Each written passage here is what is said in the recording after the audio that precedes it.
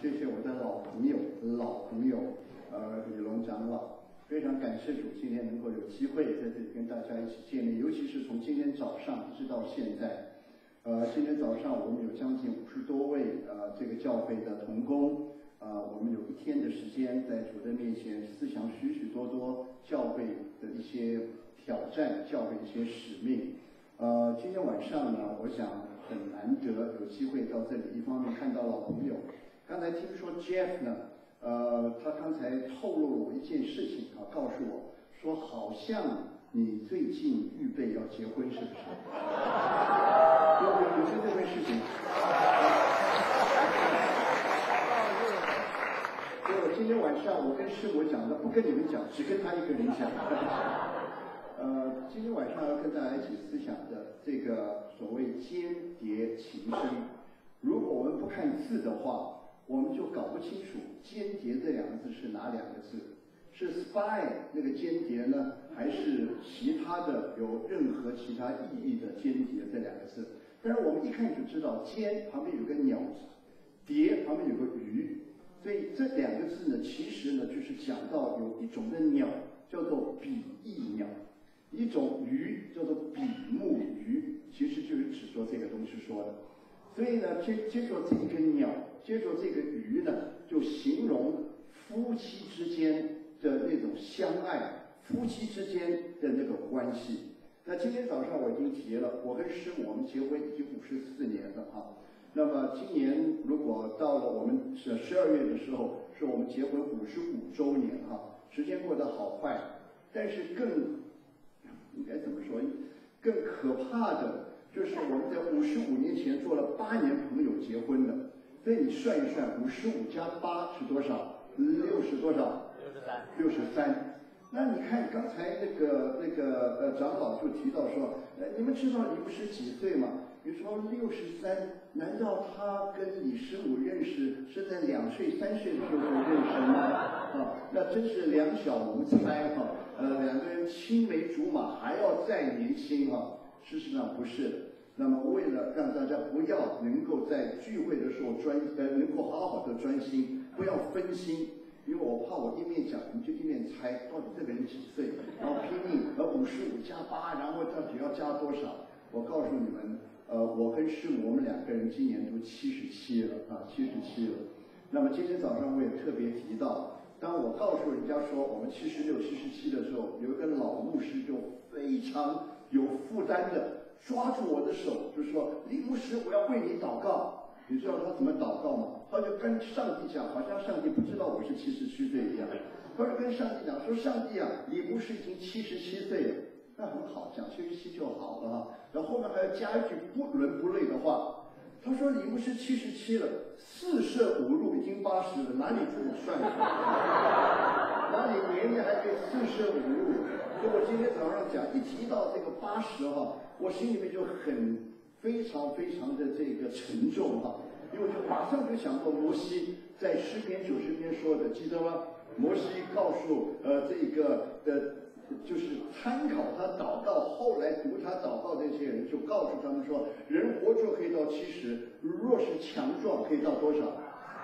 我才七十七，他就把我放在八十，若是强壮，我的大限。是到八十岁哈，但是感谢主，今天早上解释过，因为那句话对摩西来讲不是停到那，而且那句话到八十是指着他一生八十年的岁月，一个很简单的一个一一个一个写照。因为后来他就提到三个四个字的话，第一个说我们就是劳苦愁烦，转眼成空，如飞而去，所以那是。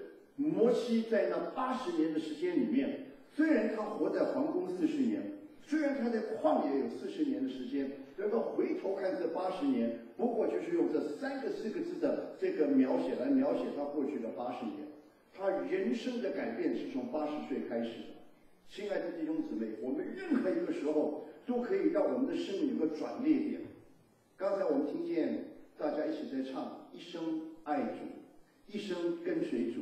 一生敬拜主，一生奉献给主，我就想到有一首诗歌很很熟悉的，叫《用我一生》。我相信很多人都会唱这首诗歌。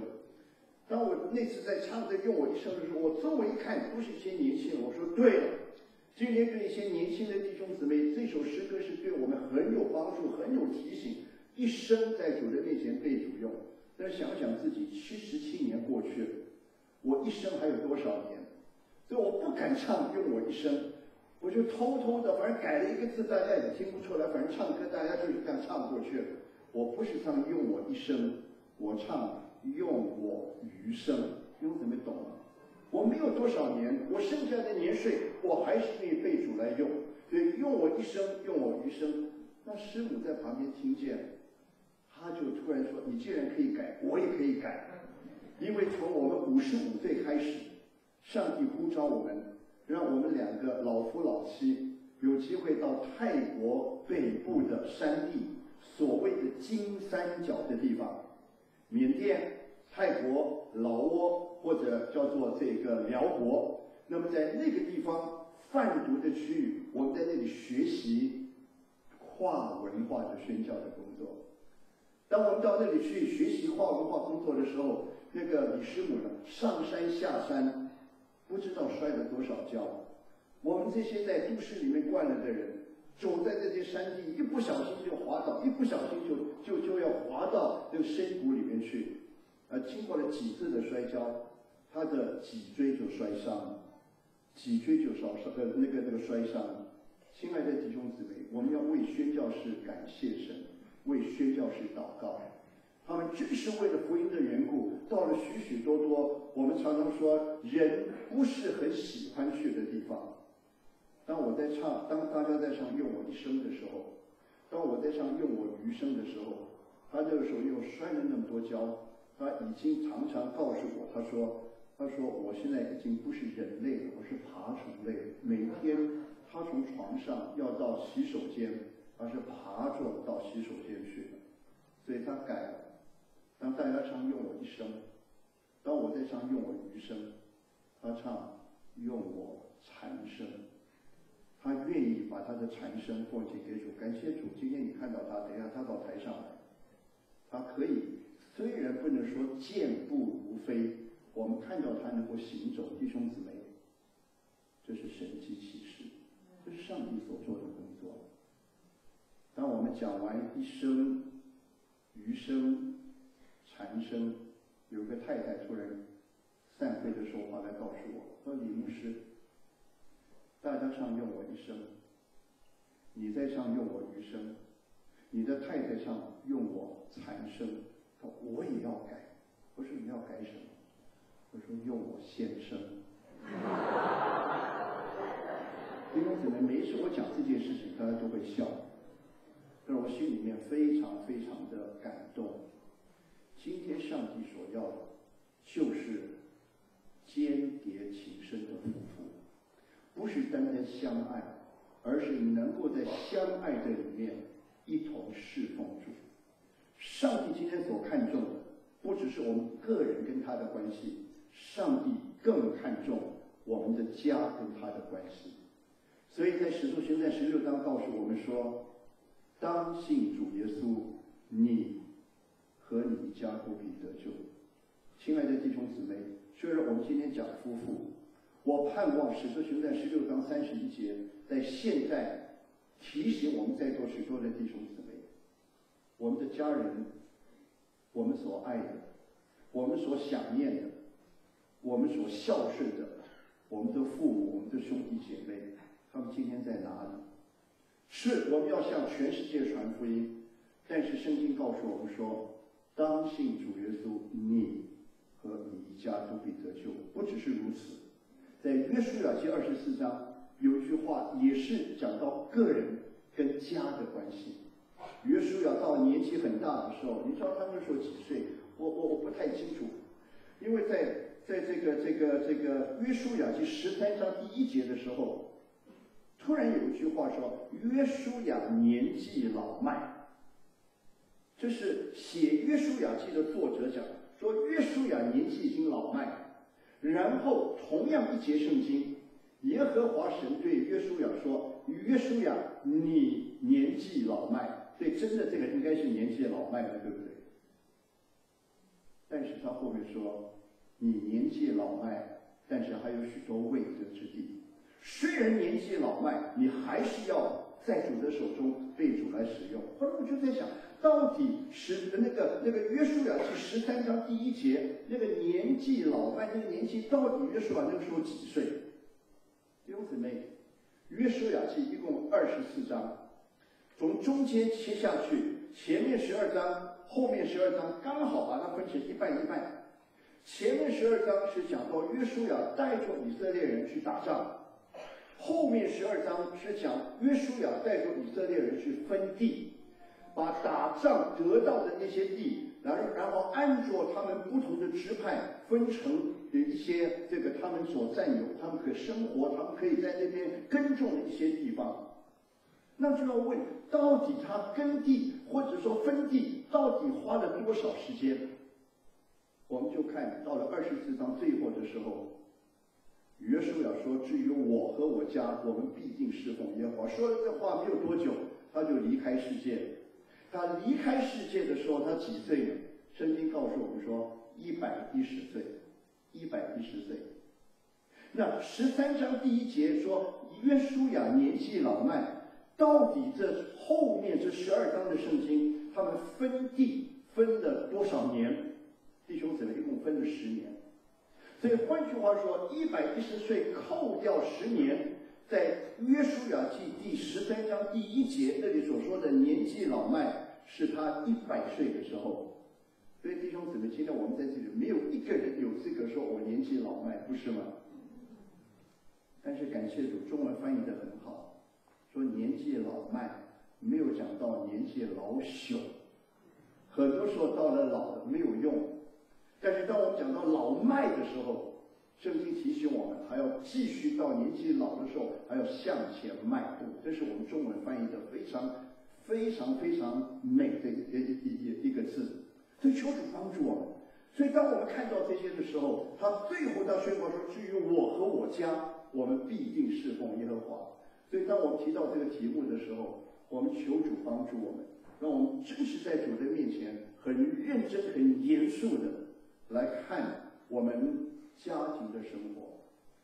刚才李荣长老提到，我们中间有已经结婚的，有正要结婚的，有还没有结婚的。但愿我们今天晚上跟弟兄姊妹一起来思想这个题目，对我们彼此有提醒、有帮助。这个题目可以可以写一本书，一个晚上不可能把它完完全全的讲完。但是我今天晚上，我要跟师母一起分享一些我们非常实际在夫妻之间的一个很重要的一个交通的这样的一个管道。我们怎么样能够在说话的这件事情上面，我们让弟兄姊妹一同来思想，一同来反省，来一起来检讨。在还没有继续讲下去之前，我想就请师母哈。既然这个相片，刚才的相片是夫妻两个人的相片，那没有道理只有一个人在台上了哈。对，我们现在请师母到台上来，好不好？请上来。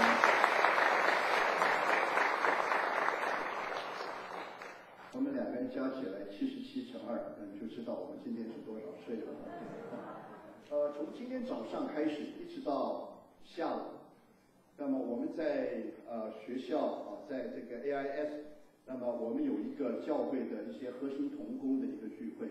那我们今天下午呢特别提，呃今天上午第二堂特别提到这个呃跟这个夫妻之间或者家庭之间的关系。那么我想请李师母呢，就跟我们有一个很简单的一个整理跟一个一个一个报告啊，你用这个好。弟兄姐妹们平安。好高兴今天晚上看到那么多年轻人，好像很久没有看到年轻人的感觉。嗯，因为我们现在越来越老，常常发现呢，在教会里面热心的都是一些年长的人。我们真的有这种感觉，我们是因为在北美洲，我们都感觉到像我们最近办的呃这个宣教祈祷特会。已经办第十四届了，我们的感觉就是看过来看过去都是老人，老人在现身。但是今天晚上看到好多年轻人，真是感觉。到神的国度有盼望，真是有人愿意起来。但是问题在这里，我们年轻，对，但是神怎么样来用我们呢？神到底怎么样来用我们呢？今天晚上我们在很多的题目当中，呃，选了这样一个题目，就是婚姻放在我们今天的主主要的内容。首先，请大家想一想，可能不用想就知道了，婚姻从哪里来的？神所设立，婚姻是神所设立的。神自己设立了婚姻以后，他对于婚姻的看法是怎么样的呢？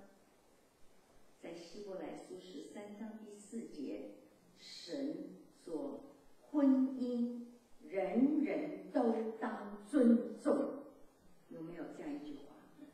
圣经里面讲的是斩钉截铁的，婚姻是人人都当尊重的。今天我们中间有很多呃年长的人已经在婚姻之中的，我们是不是尊重我们今天的婚姻？那么在我们中间的年轻人，我相信你也会看重这个婚姻，因为你看到有一些令你很羡慕的婚姻，但是也看到让你很不喜欢的婚姻。我们在做学生工作的时候，那些学生跟我们非常的亲，有人早上六点钟就跑到我们家按铃，我们就赶快开门看是什么人来。哦，原来是一个呃，我们很熟很熟的一个呃团契里面的契友。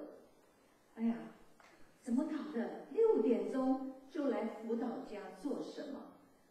林姐，昨天晚上一个晚上我都失眠，我真是太难过了啊！就讲了她交男朋友的事情，那时候我们就安慰他、劝他，最后他哭哭哭着两个眼泪的就在我们的面前，他说：“每一次到你们家，我就想结婚，越快越好。”可是每一次，当我看到我父母在吵架，当我看到他们两个人在打冷战，看到我们家里面的那种不愉快的气氛，我就对自己说：我这一辈子不要结婚。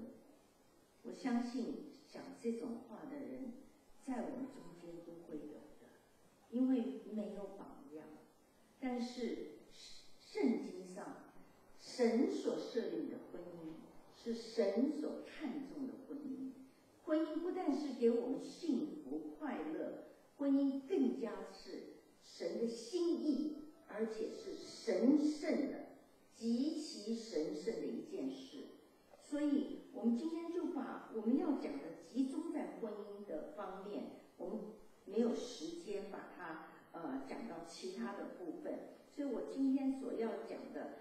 特别要提到婚姻这件事的时候，我们回到圣经，看到神在设立婚姻的时候，他是怎么样做的呢？我们就可能很多人圣经已经很熟哈，在创世纪第二章那里说，神看那人独居不好，就为他造一个什么配偶来做什么帮助他。神造一个配偶给这个男人，要陪伴他，要帮助他。所以，神所设立的婚姻是男女彼此合而为一，男女是不同，但是他们是相辅相成的。所以在神的眼光当中，如果你再去翻马可福音第十章的话，你就会看到圣经里面讲说，神造人的时候，他把人看成夫妻，不再是两个人，乃是一体的了。这在马可福音第十章第九节那里，很清楚的，神的眼光，结婚的人两个人不是两个人，乃是因为结婚，因为在神的里面是合而为一，在神的眼光中他们是一体的。我很喜欢英文圣经的翻译，有一本的翻译就说：“They are no more two, but one。”他们不再是两个人，他们是一。我们中间结婚的人，我们能不能够讲感觉到，我跟我的另外一半，我们根本就是一，因为在神的面前就是一，一加一还是等于一。一乘一还是等于一，在神的面前，结婚的人就是一，所以婚姻是一个非常神圣的。你要怎么样选择这个对象呢？你要怎么样有一个美好的婚姻呢？怎么样间谍能够情深呢？这些东西，我们都在年轻的时候，在还没有进入婚姻之前，我们就先要有所准备。有一位是专门讲婚姻的。当我们在呃读研究所的时候，讲到婚姻的时候，我们读他的书读的不少，蛮欣赏这位 Doctor Sales，他就是沙尔博士。那这个沙尔博士呢，他特别讲一句话，他说：当一对年轻人他们在圣坛的前面，他们跪在那里。他们在那里经过呃牧师的祝福，他们在那里彼此发誓言。那个时候，他们成为夫妻的时候，他们并没有从神拿到一一栋已经盖好的房子，他们乃是从神拿到一箱建造房子的材料。从他们结婚以后，他们两个人一男一女，夫与妻。记得圣经上面说一男一女，他们就从此要通力合作，照着神所给的婚姻蓝图，拿着神所给的那个建造房屋的材料去。建造他们的房子，一点一滴的建，而且两个人必须同心，两个人必须努力，必须谦卑的遵照蓝图的方式来建造。所以，我们的婚姻不是一天结婚了，哦，我结婚了，结束了，不对，结婚以后才开始，开始你们人生。神要怎么样用你们？所以当你们两个人在婚姻上面能够有美好的见证，神才能够用我们的婚姻，用我们的家来成为福音的光。今天我从呃早上我们两个人就在我们的同工们的聚会里面讲，早上先是李牧师讲到。同工与朋友的关系，接下来呢，就是由我来讲一个很重要的题目。我为了这一个题目呢，是当呃我们的长老他点菜说要这样一个要讲这样一个内容的时候，我想了很久。我想到的题目是夫妻两点。夫妻是什么呢？是。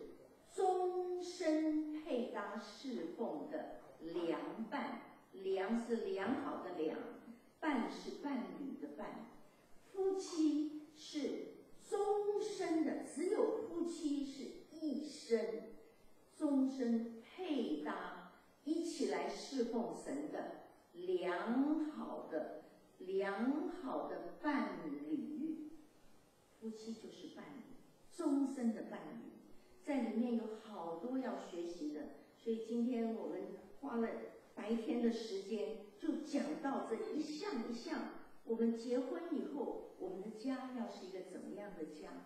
真的是神所要用的。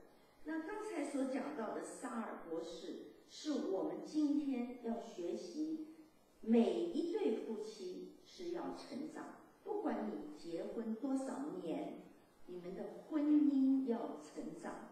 这个成长包括你们的灵命要成长，你们的爱情要成长，你们的做人要成长。结婚以前是什么事都不做的人，结婚以后慢慢的开始帮忙做家事了。我们做人都会成长。那么我还要再提另外一个人，另外一个人在呃西方也是很有名的，就是 Doctor Dobson。Doctor Dobson 呢，他有一次，他就是去调查将近一百对的结婚了二十年以上，而他们是婚姻美满的夫妇，他就要调查一个问题的答案，就是说为什么他们这这么多的这个夫妻，他们是这样子的幸福美满呢？原因在哪里？所以我今天接下来更重要的就是，除了要讲到婚姻要成长，像萨尔博士所说的，照着神的蓝图建造你们婚姻的房子，要不断的成长，你要找对的对象，你们去慢慢的建造越来越美、越来越好的婚姻。那么这第二个呃博士这个 Dawson 呢？他就是来调查到底幸福婚姻的条件是什么。结果呢，他们这一百对啊，大家都在写，我们过了二十多年的婚姻生活，为什么人家这么羡慕我们婚姻这么美满？所以他们就写写，然后很多很多人的写的东西呢，他们就加以总合起来，然后加以分析，最后。是，我说奇妙的 C C 就是英文的 A B C 的 C，这个他就提到了三个 C 哈，非常奇妙。这三个 C 是什么呢？我们接下来就会把这三方面，呃，一个美满婚姻的基本的需要从哪里来？第一个 C 是 Christ-centeredness。是基督在家里面居首位，有基督居首位是 Christ-centeredness 出来了没有？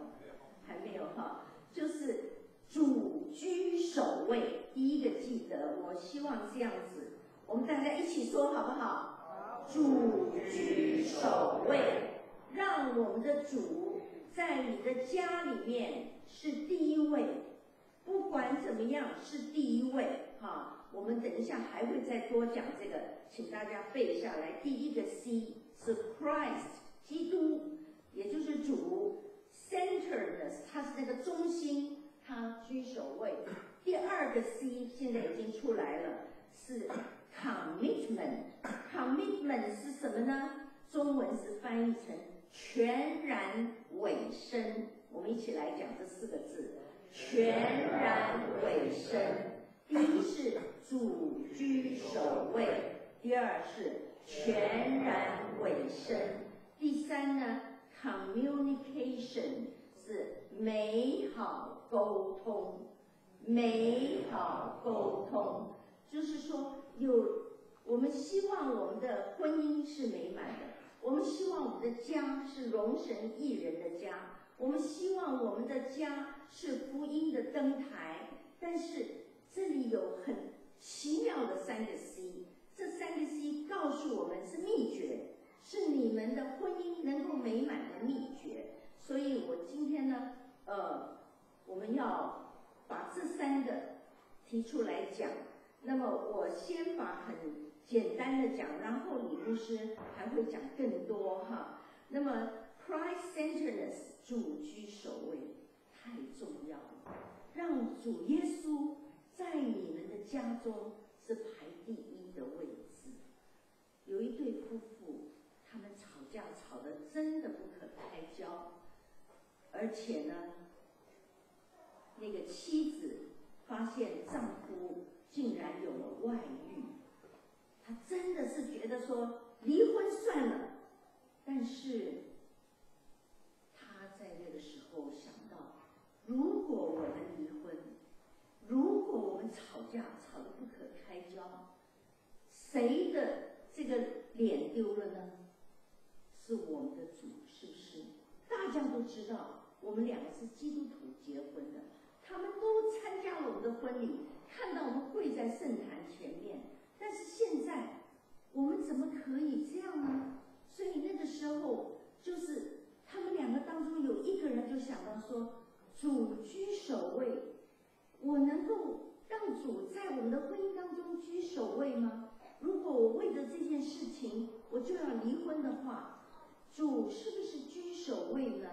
所以就因为这样子，这一个吵架，慢慢的，他们两个人开始和好，慢慢的他们一起认罪。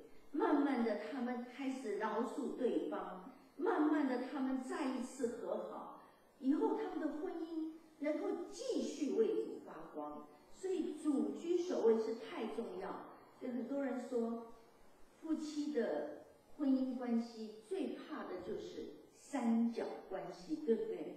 三角关系，但是也有很多人告诉我们，基督徒的婚姻就是一个。三角形的婚姻，是不是这样呢？神在这个最上面的这个角，夫跟妻是下面两个角。当我们的婚姻关系有主居首位，他在这个三个三个尖角的最上面，他不但不是来争，好像挤在中间来抢夺我们中间的爱。他反而是保守我们两个人的婚姻，所以这个主居首位是第一个 C，第二个 C commitment 是全然的委身，你把自己完全的委身，在结婚典礼的时候，我们就跟对方说，不管是我们健康或者是疾病的时候，不管是富裕的时候或者贫贫穷的时候。我都愿意一生爱你，做你忠实的妻子。男的也是这样对对方说的，这是你们两个人彼此的尾声。但是很多人离开了这个结婚的圣坛，都早就忘记了我们当初对对方尾声的话。有一对夫妇呢，他的那个那个妻子。得了癌症，当他得着癌症的时候，他知道他已经太晚了，已经到了末期了，他必一定没有办法的。这个这个病再下去是会很严重的，所以他就有一天就跟他的丈夫说：“我不希望我成为你的重担，我我希望呢，你就跟我呢。”分开好了吧，你还有，你还年轻，你还可以有前途，你不要把你的人生就毁在我的身上。所以呢，我请求你，为着你的好处，你可以另外再去呃结婚。我呢，总之是会去世的。你知道那个丈夫把他的妻子紧紧的抱起来，他就说：“玛丽。”不行的，我曾经在圣坛前已经说过了，我一辈子明明讲的，不管是健康的时候，或者病痛的时候，不管是富裕的时候，或者贫穷的时候，我都要做你忠实的丈夫。我哪里可以在你现在得癌症的时候，我离开你呢？所以他紧紧的抱着他。我这个时候，我更要照顾你，因为我答应神，我已经委身于你。婚姻，我们当中第二个奇妙的 C 就是 commitment，彼此向对方委身，不是今天想到什么就开始转念头，或者另外再去呃喜欢别的人。那么第三个呢？就是我们今天可能会花最多时间的，就是讲 communication，就是这个沟通的问题。但是我们要的是美好的沟通，是夫妻之间要有美好的沟通。当我们去调查许多夫妻为什么会离婚，为什么会离婚的时候，我们发现有好几个原因会使夫妻离婚的。后来最让我们吃惊的就是说，在那个榜首最严重的问题是夫妻不能沟通，沟不通或者一沟就出了问题的沟通，不会沟通就成为婚姻的一个极大的拦阻，是婚姻的一个使他破坏婚姻的一个一个大的力量。所以呢，我在。讲到这三个 C，我们还会继续的再讲，呃，夫妻之间的沟通，包括夫妻之间最常发生的事情就是吵架，我就要请我的另外一半李牧师来讲。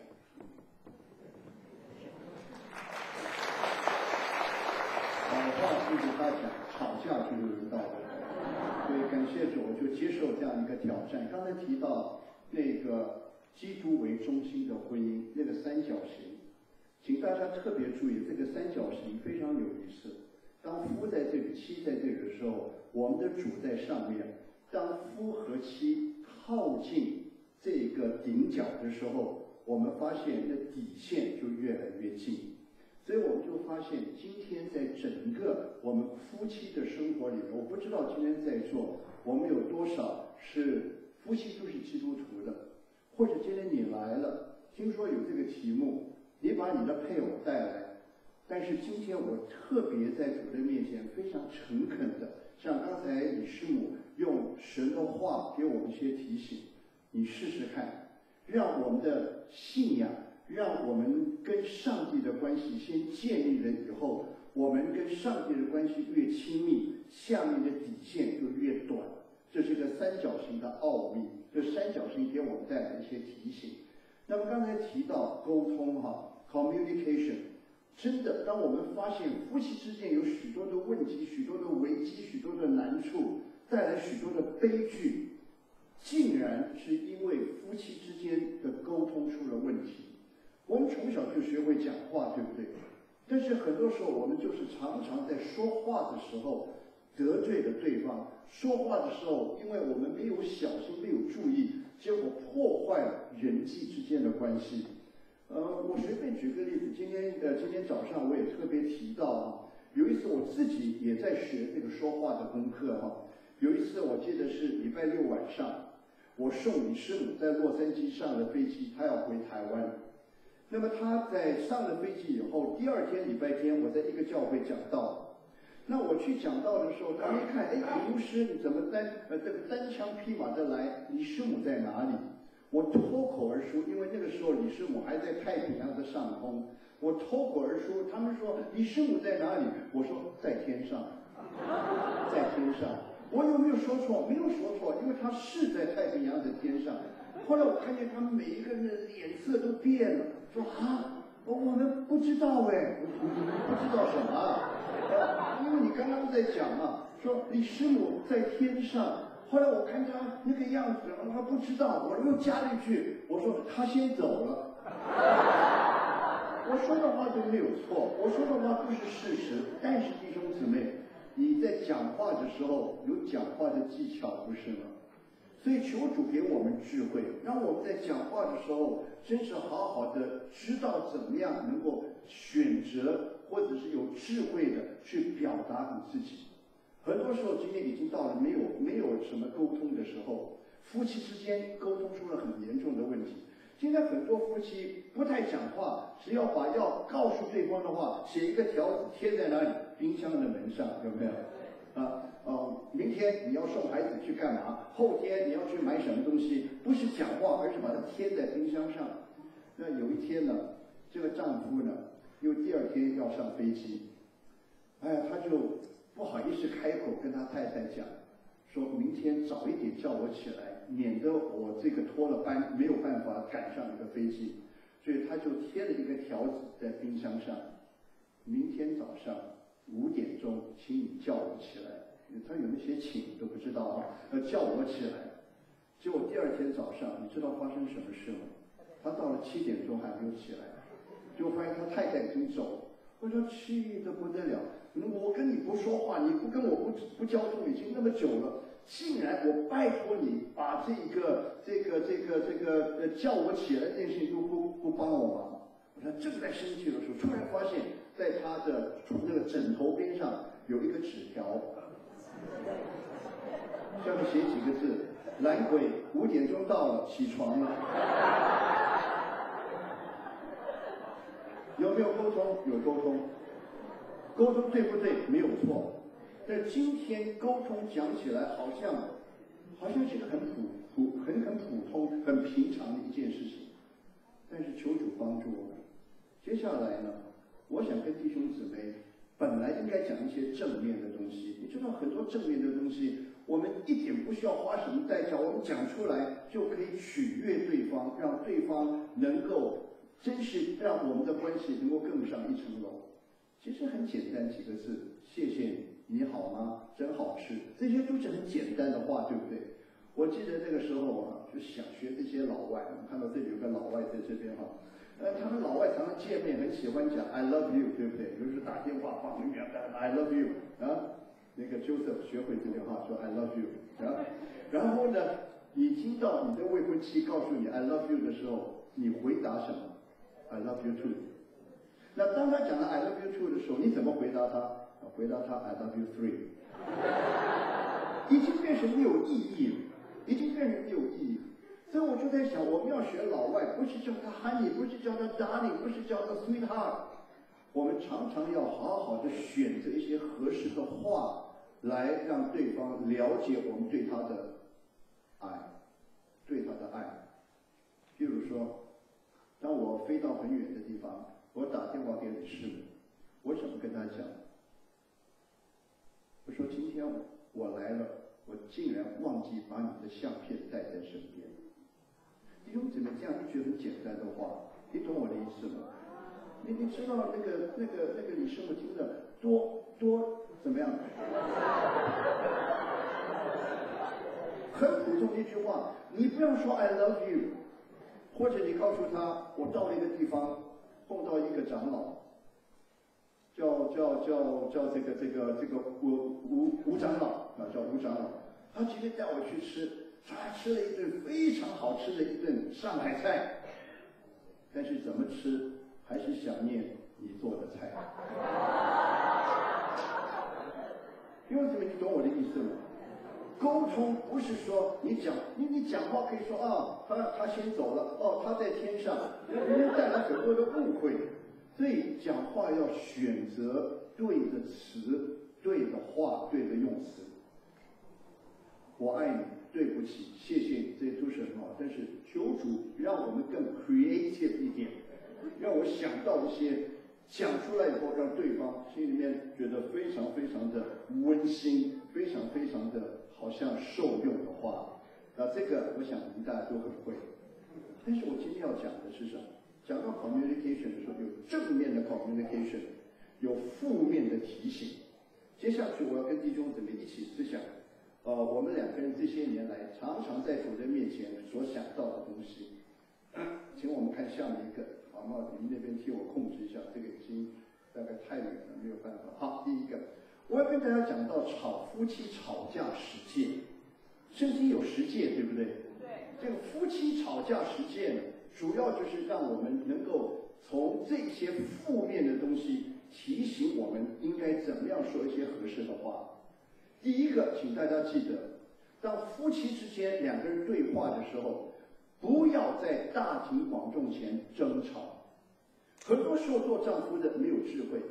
很多做妻子的非常的愚蠢，常常在大家在一起公开场面的时候，大家公众在一起的时候，你就会不小心说了一些不该讲的话而伤害到对方。特别是在众人的面前，你在那里或者取笑对方，让他讲的这个东西的时候，你马上插嘴，你又来了，这这又又又又又又在吹牛了。我告诉你。很多时候，这些对方哦，心里面听着会非常非常的怎么样？会非常的不高兴。因为我们没有想到我们要给我们的配偶，在众人的面前不要让他下不了台。很多时候我们说爱爱爱爱到一个地步，我们刚才不是唱了《爱的真谛》吗？我们刚才不是唱到我们要爱主吗？我们刚才不是说我们可以成为一家人吗？亲爱的弟兄姊妹，今天我们在神的面前求主提醒我们，让我们真是不要随随便便，当我们的配偶在发表或者说说他的要分享的东西的时候，你不要插嘴，你不要批评，你不要取笑他。如果你有什么不满意或者对他有意见，回家在车上再谈。不要在当众让对方对不起，让我再说一遍，让他下不了台。所以这是第一个我们要注意的。当夫妻在一起有争吵的时候，不要在大庭广众前面争吵。有一次我在一个地方讲到这个吵架事件，我就告诉大家，我说我没有看到不吵架的夫妻。哇，大家都在点头啊。只是说你吵得多一点，啊，这个人吵得少，这一对吵得少一点。没有想到讲完了以后，有一个太太，那我记得那个时候在新加坡，有个太太就跑来找我，她跟着她的孩子叫我李哥哥，他就抓住我说：“李哥，说你刚才在台上什么东西我都同意都赞成，就讲得很好，但有一样事情，你说没有不吵架的夫妻。”他说：“李哥，我告诉你。”我跟陈伯伯，他他叫自己叫陈伯伯陈伯母，我跟陈伯伯就没有吵过架。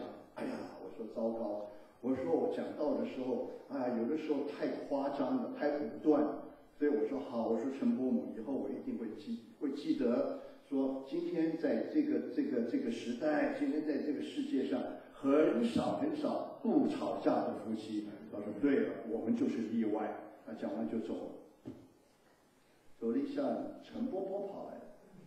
陈伯伯跑来，他看到陈伯母跟我讲一手画脚讲一些话，他就问我，：“刚刚我老婆跟你讲什么？”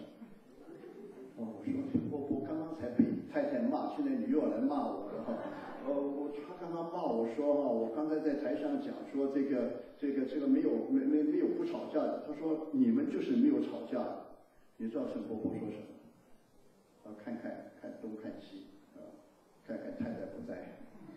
他说：“李哥，他忘记，他忘记。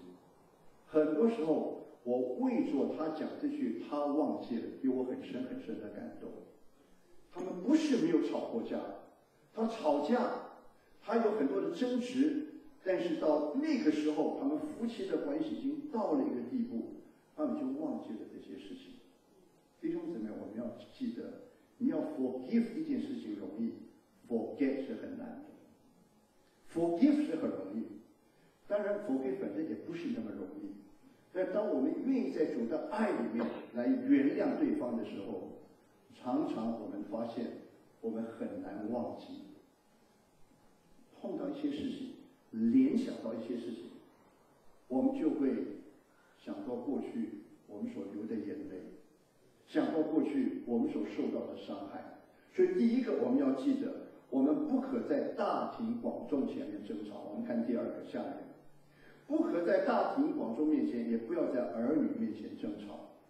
我非常非常诚恳的提醒我们在座的弟兄姊妹，我不知道今天晚上这是一个很特别的一个聚会。不是，好像刚才我们听见 Joseph 在祷告的时候，我们听见刚才贾牧师在祷告的时候提到说，求主让我们今天晚上能够好好好像接受一些培灵的信息。其实这些也是培灵的信息。我们所说的培灵，求主让我们是非常实际的，影响我们的生活，影响我们的见证，影响我们的侍奉的一些信息。所以我盼望我们今天讲的这些很实际的东西。能够提醒我们每一个人，特别是夫妻，特别是预备结婚的，让我们千万记得，不可在孩子的面前争吵。你知道为什么？你知道为什么？在过去我们辅导的个案里面有好多好多经过了三年五年十年二十年以后我们发现父母亲的争吵在儿女的心里面留下一个不可磨灭的伤害。很多时候我们知不知道？等一下我会提我我我会提到我们不要随便讲离婚哈。很多人后来就离了但是没有想到你的离婚你的婚姻的破裂，给你们的孩子，可能对你们来讲，对离婚的来讲，哎呀，我终于释放，我终于自由了，我终于解脱了。但是你的不释放，你的不自由，你的不解脱，难道不能靠着主，能够弥补这些缺陷吗？偏偏主一定要用离婚来做我们之间一个意见不一样的这样一个结论。弟兄姊妹，好了，你就愿意解脱、自由，就离开了。但在孩子的心里面留下了很深刻的印象。有人做统计。所有这些离了婚的这些个案，追溯到他们的父母，追溯到他们的上一代、上两代，很多都是破裂的家庭出来。我们没有想到，撒旦所所做的工作，也是一代一代的影响下去。所以求主帮助，不要在儿女的面前争吵。你在儿女的面前争吵。你可能赢了你的争吵，但你输掉了你的儿女。弟兄姊妹，原谅我在主的面前，今天很多人是第一次见面，让我让我们夫妇从心里面真是非常诚恳的。你如果真的要吵，忍不住要吵，拜托拜托，不要在孩子的面前吵，而伤害到他。所以呢，儿女是上帝给我们的产业。所以，既然是产业，我们就应该在教养儿女的事上学习做一个忠心的好管家。因为是产业，既然上帝把产业给了我们，我们就不能不好好的负责任，把我们的孩子带到神的里面，带到主的里面。所以，第二个，不要在儿女的面前吵；第三，不要在对方的气头上来争吵。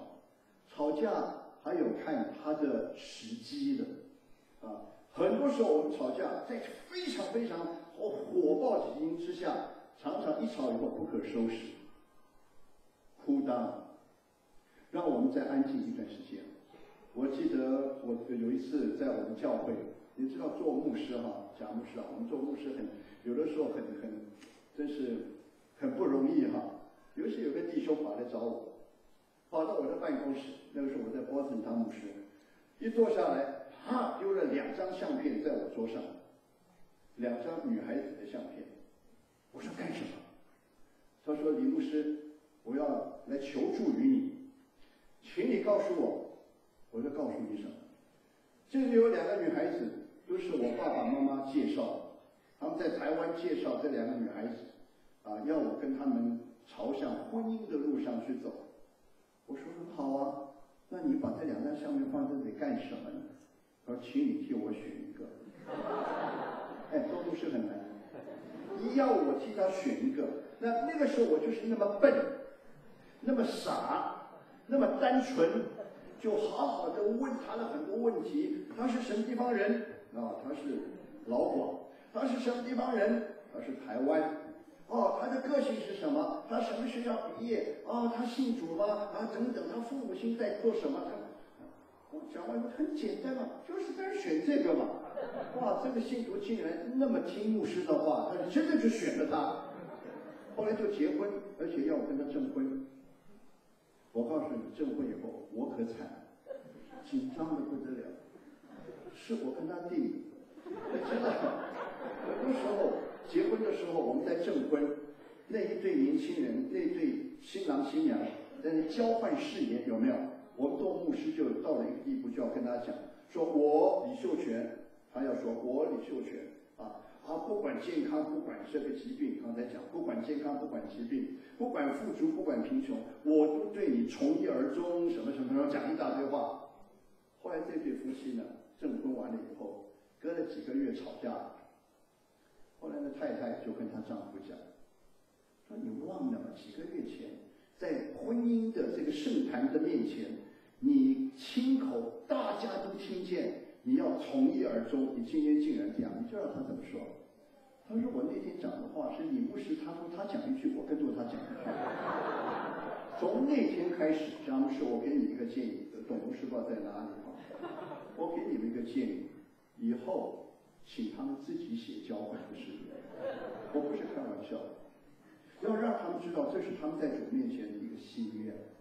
然后他也许他没有办法背得出来，但是起码你背不出来，但是我要宣告，亲爱的弟兄姊妹，双方的亲人，接下去他们夫妻要交换誓言，他们交换的誓言是他们自己写的，但是因为他们今天做新郎新娘很紧张，所以我讲一句，他讲一句，是提醒他们，这些字、这些话、这些句子是他们自己写的。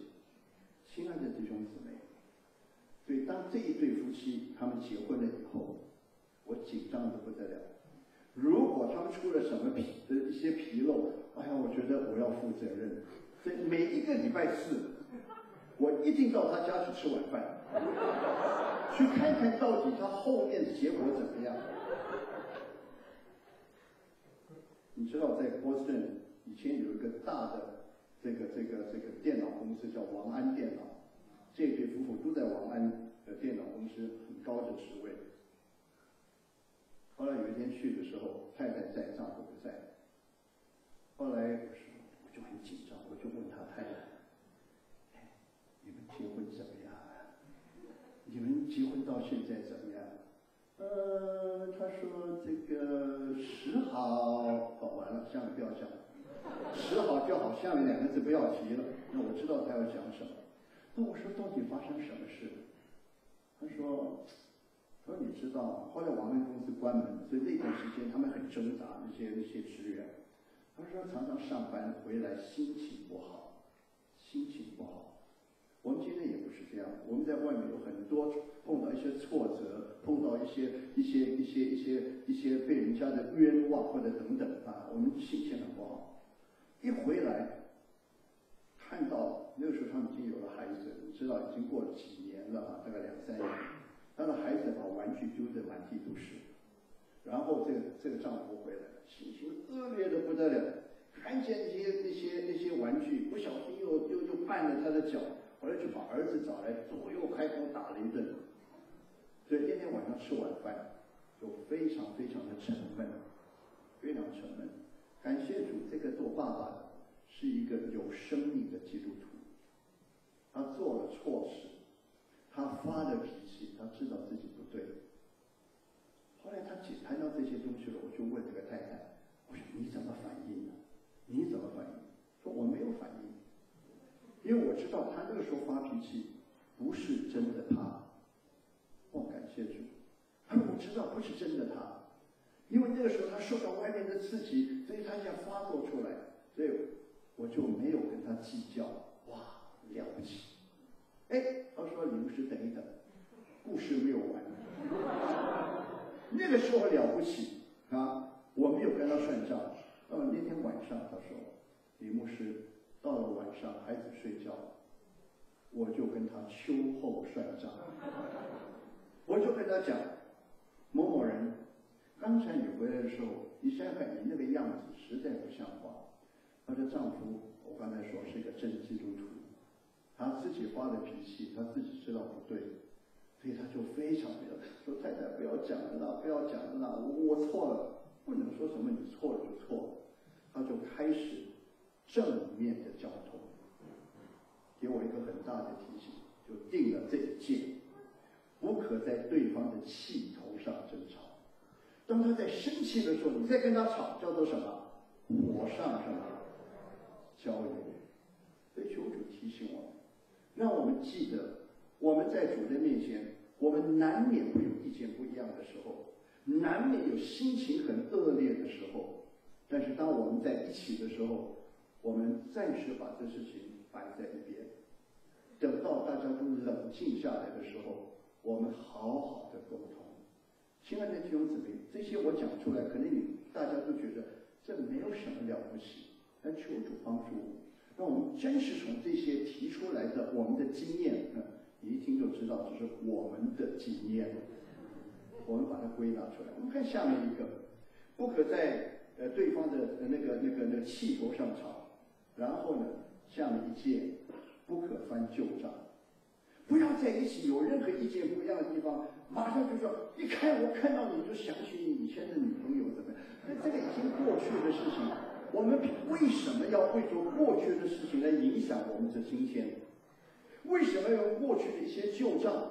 已经过去了。我刚才讲，我们 forgive 容易，forget 难，所以这个功课听起来很简单，但其实很不容易。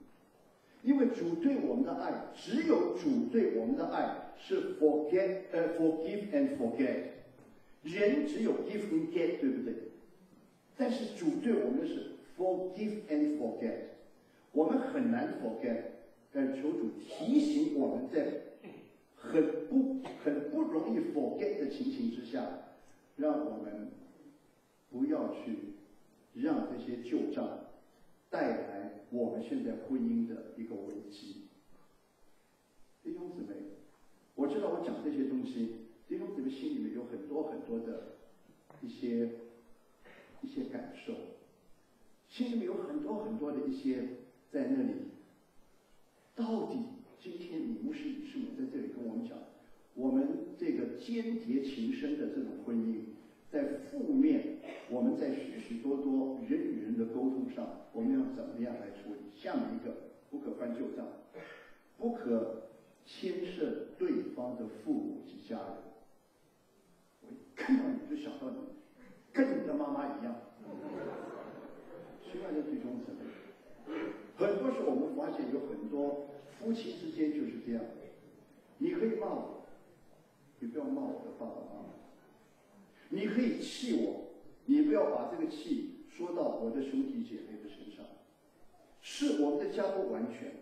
今天早上我讲了两句话，我也把它提出来送给你们夫妻之间的谈话的一个一个提醒。不要忘记我们自己不完全，所以我常说，因为我不完全，所以我没有不被别人批评的自由。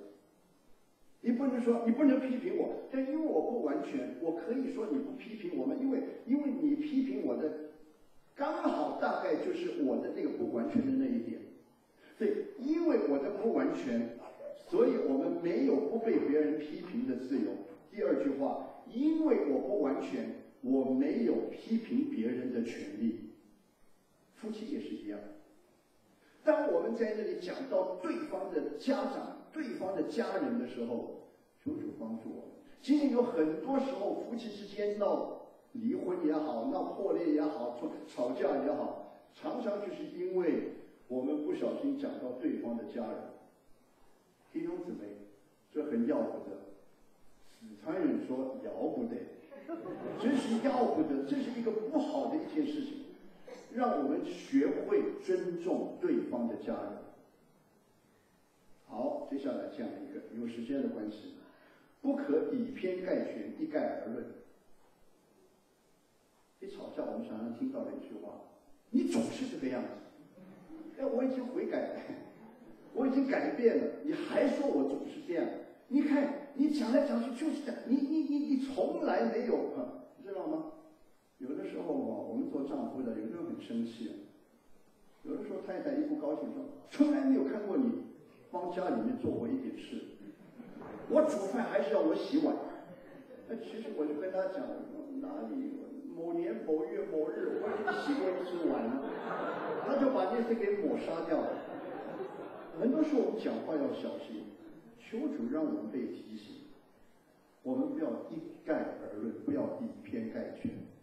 你总是这样，你你你你从来没有怎么样怎么样，你从来没有买过一样像样的东西给我，你忘记了吗？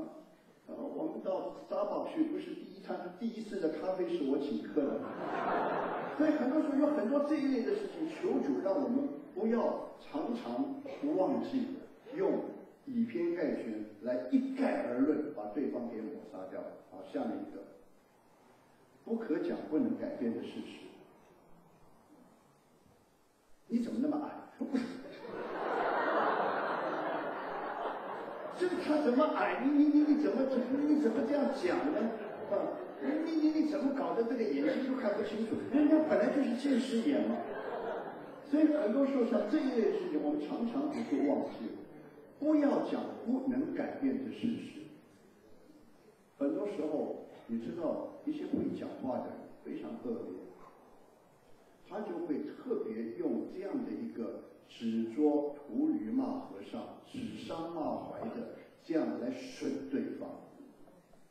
常常我们这些比较会讲话的弟兄姊妹，心里特别注意，我们很容易就是用我们所说的话来刺激对方，来伤害对方，来贬低对方。我们就常常用不能改变的事实来刺激对方。亲爱的弟兄姊妹，我在这一方面有很多很多的学习。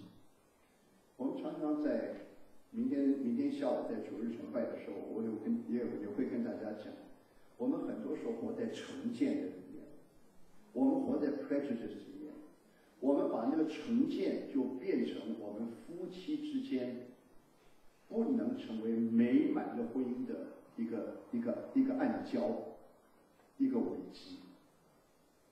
时间很很快啊，我们再看下面，不可大声吆喝。很多时候，我们因为大声就可以胜过别人。我很高兴，我现在年纪越大，我的耳朵越来越不行，所以现在要戴助听器。你知道戴助听器的好处是什么吗？我希望你师母不在我再来讲。一回到家，如果发现这个讲话越来越紧张的时候，把助听器关掉。他的名字叫林静之，安静的静。所以那个时候我看看上他，喜欢他，跟这个静有一点关系。你看刚才他在这里讲，跟我讲的不一样，对不对？啊，他叫林静之，我叫李草泉，声音很大。但是后来他声音越来越大，因为做妈妈，在厨房忙了忙忙忙忙了一阵子。要吃饭怎么叫大家都不来。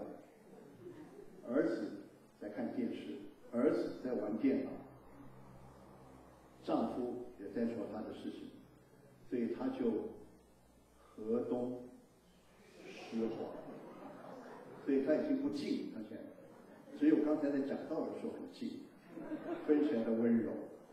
亲爱的弟兄姊妹，我们不管近也好，不管我们不近也好。但是很多时候，当我们激动的时候，求主帮助我们，求主帮助，不要大声去吆喝。很多时候，你我以为大声就可以取胜，只有把事情越搞越坏。所以我也特别鼓励在我们中间。刚才我听纠正在唱歌，声音真好听，大声。我说啊，我要讲吵架世界，里面有一件就是要。提醒彼此提醒，我们可以把大声拿来带大家唱诗，不要用大声来成为我们对话的一个方式。最后，不可吆喝，大声吆喝。下一个，不可动手。原谅我，我最忍受不了，或者说我这个传道人。可以看不起一个人的话，我不应该看不起一个人。但是我最看不起的人，就是打妻子的丈夫，打太太的那个男人。为什么？很多时候我发现，男人一动手，在神的面前，是一个不只是伤害到对方，伤害到下一代。伤害到整个家庭，最后伤害到他自己。弟兄姊妹，我们可能会有怒气，但不管怎么样，求主帮助我们，不要随便的动手。很多时候，我发现为什么会动手伤害到我们所爱的人？因为你在外面。受了气，你在外面。你不敢在那里反抗，把所有的气。发泄在自己的家人身上，弟兄姊妹，不要以为基督徒好像这一方面。是免疫的。刚才我不是唱了一首歌吗？我们成为一家人，对不对？今天早上我也讲，很多时候不要不要忘记，我们成为一家人的人都是人，都是蒙恩的罪人，都是软弱的人，都是常常会有毛病的人。那求主帮助我们，让我们在是这个三角形的里面，让我们尽量跟上帝的关系更靠近。我有讲一个最近的一个失败跟大家分享。我在今年六月二十号。我不会忘记，我跟我妹妹，我们的亲人有一个电话的祷告会。那天我在祷告的时候，先有些交通，后来我不知道，突然之间没有办法控制自己的脾气，就在电话里面把我的妹妹大骂了一顿。骂完了以后，我说不跟你们祷告。当我要离开那个电话的时候，我就听到。我在加拿大的妹妹，因为我们是经过 Skype 在打电话，听到她在对方大哭，我就跑到楼上去，一个人坐在我的书桌面前，在那里发闷气。突然圣灵光照我，圣灵感动我，我觉得我实在不应该。除了我要向我妹妹道歉。我在神面前许下一个心愿，我说主啊，求你让我在见你面之前，今天晚上是我的人一生里面最后一次发脾气。很好笑哦，你知道我接下来怎么想？我说我一定不要再发脾气，因为过了大概不到一个月，我一个很要好的朋友同工。突然在讲完道，礼拜天在停车场坐下来五分钟就回天家。我说如果发脾气，年纪大，火气那么大，突然之间